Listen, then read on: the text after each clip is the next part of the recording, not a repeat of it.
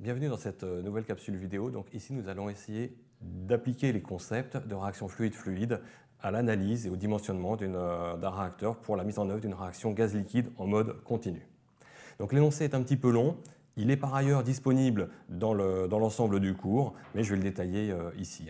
Donc le but, c'est de réduire la concentration d'une impureté A ici dans l'air de 0,1 à 0,02% par réaction avec un réactif B en phase liquide dans une colonne à garnissage. Donc la colonne à garnissage est schématisée ici. Et bien évidemment, on a une réaction en phase liquide de la forme A plus B donne produit liquide. Donc on a besoin de beaucoup d'informations. Il faut savoir que la réaction est d'ordre 1 en chacun des réactifs, que la constante de vitesse vaut 10 m3 par mol et par seconde, que les diffusivités des deux réactifs A et B sont identiques, ce qui va simplifier les calculs par la suite. On donne la conductance de transfert KL qui vaut 1 10 4, l'air interfacial qui vaut 500 m2 par mètre cube, le coefficient de Henry pour la solubilité de l'espèce A en solution qui vaut 5000 pascal mètre cube par mol, et enfin le produit KGA qui vaut 2 10 4 mol par mètre cube par seconde et par pascal. Donc on a besoin de toutes ces informations. Il faut savoir aussi que l'espèce A elle est diluée dans l'air. Donc l'air est alimenté à une pression atmosphérique de 1 10 puissance 5 pascal. Et donc comme il est dilué et qu'il est présent à hauteur de 0,1%, on a une pression de A à l'entrée ici qui vaut 100 pascal. Comme on vise un objectif euh, de sortie de 0,02%, on connaît aussi la pression de sortie de A, PA2, qui vaut 20 pascal. Euh, on nous dit que la température est la température ambiante, c'est 20 degrés. Et enfin, on nous dit que l'alimentation se fait à contre-courant, ce qu'on avait déjà vu sur le schéma. Et la concentration de B à l'entrée, qu'on appelle CB2, elle vaut 800 mol par mètre cube. On nous donne aussi les débits d'alimentation. Donc celui du liquide est bien plus faible que celui du gaz, ce qui est logique dans ce type de contacteur. Hein. On a toujours des débits liquides volumiques plus faibles que ceux des gaz. Et puis bien évidemment la question, parce qu'il faut une question, la question c'est quelle est la taille de l'installation? Donc à partir de ça, on va déjà commencer, bien évidemment, ce qu'on voit, c'est pouvoir calculer la concentration de B en sortie ici, puisqu'on ne l'a pas. Donc pour ceci, on va faire un bilan. C'est un bilan assez simple, mol à mol, puisque bah, tout ce qui est perdu par l'espèce A lors de son passage correspond bien évidemment à ce qui est aussi consommé par l'espèce B lors de son passage. Donc on écrit que ce qui disparaît en A est égal à ce qui disparaît en B.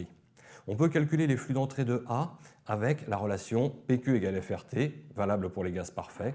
Donc, euh, comme ceci, on exprime le flux de A en entrée. On peut exprimer aussi le flux de A en sortie, en supposant que le débit de gaz reste constant, mais vu les niveaux de concentration, c'est tout à fait logique. Et puis, bien évidemment, connaissant la concentration d'entrée de B qui est ici et le débit volumique de liquide, on a le flux de B qui entre. Donc, assez simplement, on trouve comme ceci une concentration CB en sortie de 793 mol par mètre cube, donc c'est assez proche de la concentration d'entrée. Donc on a une très faible variation de la concentration en liquide sur cette colonne. Donc ensuite, eh bien, il nous faut identifier le régime de fonctionnement. Pour ceci, je vous rappelle, le but, on va, le plus simple, c'est de calculer le critère de Hata qui est rappelé ici. Donc ce critère de Hata, on peut le calculer en bas de colonne, on peut le calculer en haut de colonne avec des concentrations de B qui varient très très légèrement, ça ne change pas beaucoup et on trouve globalement un critère de Hata qui vaut à peu près 40 sur l'installation. Donc on voit qu'on n'est pas déjà dans les premiers cas pour lesquels le critère de Hata était plus petit que 3, mais dans ce cas, bien évidemment, il nous faut comparer le critère de Hata au facteur d'accélération limite, EAL, qui est rappelé ici. Donc ce euh, facteur d'accélération limite, EAL, pour le calculer, on a besoin de la concentration CAI. Or, on connaît ni CAI ni PAI, puisqu'on connaît uniquement la pression côté gaz, mais pas à l'interface. Par contre, ce qu'on sait, c'est que euh, PAI est inférieur à PA. La pression à l'interface est toujours inférieure à la pression au sein du gaz. Si bien que CAI va être inférieur à PAI sur HE. HE est la constante de Henry. Donc comme on a une valeur inférieure de CAI, on aura une valeur supérieure de EAL. Et donc ce qu'on voit, c'est qu'en bas de la colonne, EAL, il est supérieur à 40 000, à peu près, on le calcule par son expression, et en tête de colonne, EAL, il est supérieur à 200 000. Donc on voit qu'on est clairement inférieur, on voit clairement que le critère de attaque est ici est franchement inférieur au facteur d'accélération limite, et on est dans le cas du régime de pseudo-premier ordre, pour lequel le ATA est plus grand que 3, mais plus petit que le facteur d'accélération limite, et dans ce cas-là, le facteur d'accélération est égal au critère de ATA. Donc reste à exprimer la vitesse de réaction. Donc on écrit toujours l'égalité des flux transférés. Ce qui est transféré côté gaz, c'est égal à la vitesse de réaction. On remplace CAI par son expression de PAI sur HE. Et puis encore une fois, on va essayer d'éliminer PAI entre cette expression-là et celle-ci. On l'obtient facilement en disant que la vitesse, elle vaut delta P sur 1 sur Kg, et ça vaut aussi PAI sur HE sur EAKLA. Je peux sommer les numérateurs et sommer les dénominateurs, et on obtient cette relation-là pour la vitesse R bar, la vitesse moyenne ramenée à l'unité de volume de gaz, qui fait intervenir l'unité de volume de liquide, pardon. Et ça fait intervenir la pression de A, la résistance au transfert côté gaz et la résistance au transfert côté liquide avec le facteur d'accélération. Dernière chose à faire, bah, c'est un bilan sur un élément de volume dans la colonne. Ici, on va faire un bilan sur un petit élément de volume euh, d'épaisseur des Z.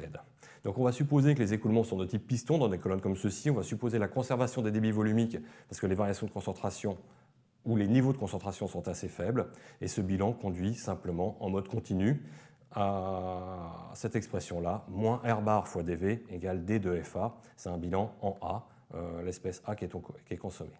Donc on va remplacer R bar par son expression qui est ici, ça c'est uniquement l'expression de R bar, et puis on va remplacer PA par son expression à partir du flux, puisqu'on suppose toujours qu'on a des gaz parfaits, PQ égale FRT.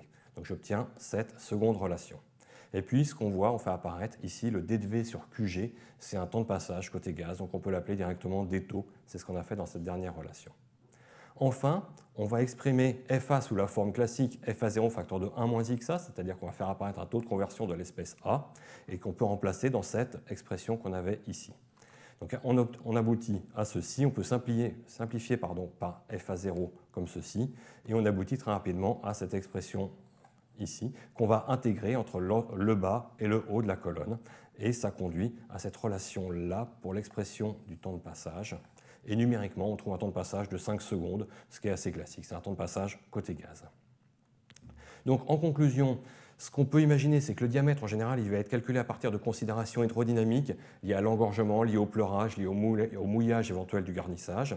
Et à partir du diamètre et du temps de passage, on pourra avoir la hauteur de la colonne, en prenant éventuellement des marges de sécurité. Mais comme ceci, on a la hauteur totale de la colonne. Ce qu'il faut retenir d'une façon plus générale sur cet exercice, bah, c'est que la méthodologie est assez classique. On calcule un nombre de hata, un facteur d'accélération limite, on identifie un régime de fonctionnement, et à partir de ce régime de fonctionnement, on peut exprimer une vitesse globale de la réaction, et enfin faire un bilan de matière sur l'installation, comme on le faisait classiquement. Donc voilà pour cet exercice. On verra un autre exercice sur des réactions toujours fluides-fluides, mais cette fois-ci en mode fermé.